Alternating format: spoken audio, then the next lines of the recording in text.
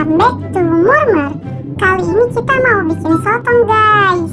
Kuy langsung aja siapin tepung terigu Tepung tapioka Air, garam, bumbu penyedap Telur, daun bawang, dan bawang putih yang sudah dihaluskan. Saus gombalan doi. Pertama, rebus air, masukkan garam, bumbu penyedap, bawang putih, dan tepung terigu.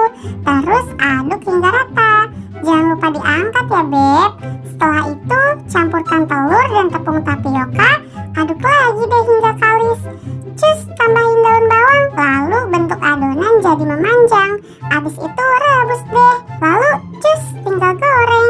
Biar makin asik, bisa tambahin saus sebagai pelengkap. Tapi pelengkap aku cuma kamu doang kok. Hahaha.